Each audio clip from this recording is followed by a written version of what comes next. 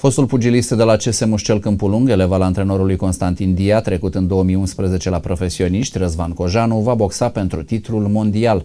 În vârstă de 30 de ani, acesta se va bate pe 6 mai pentru centura de campion mondial WBO, chiar cu deținătorul centurii, neozeelandezul Joseph Parker. Mușelenul îl cunoaște foarte bine pe Parker pentru că i-a fost sparing. Îl știu foarte bine, îi cunosc slăbiciunile, la antrenamente am dat 50-60%, în meci voi da 100%, a mai punctat Cojanu. La profesioniști are în palmares 16 victorii, dintre care 9 prin knockout și 2 înfrângeri, iar în 2012, împreună cu antrenorul său, Răzvan Cojanu a fost prezent în studioul Mușcel TV. Vremea a ținut puțin cu noi și am reușit să îi aducem în studio aici la Mușcel TV uh, pe uh, doi uh, invitați valoroși. Încep prezentarea cu antrenorul emerit, maestrul Constantin Dia. Bine ați venit în studioul nostru. Bine v-am găsit. Celălalt invitat este um, sportivul mediatizat în ultimele ultimele zile, cel care a boxat uh, la gala uh, cam, urmașii lui Bute sau Invincibili, cum s-a numit uh, gala de săptămâna trecută din Sala Rapid.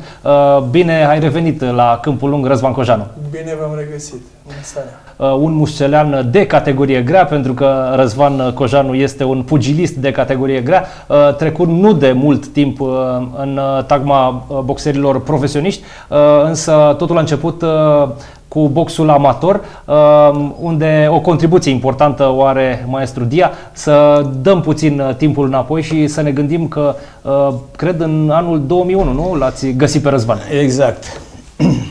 Deci dacă dăm timpul înapoi cu vreo 11 ani, ne vedem la liceul minier, unde în toamna, septembrie mai bine zis, după 15 septembrie, în clasa 9C, în uh, căutările mele găsesc trei băieți zdraveni, mai răsăriți, așa. mai răsăriți, uh, printre care și Răzvan.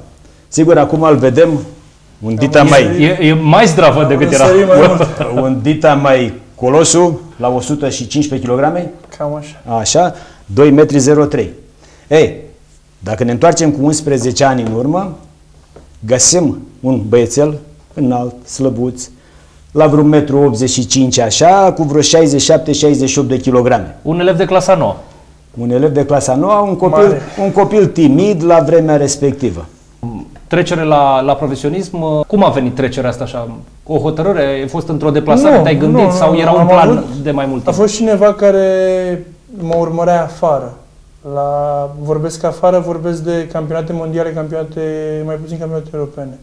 Vorbesc de acest manager al meu care m-a urmărit și plăcea de mine. Prima oară ne-am întâlnit în Chicago, în America, prima oară în 2007, când a fost acolo și mi-a venit cu o propunere, dar nu așa serioasă.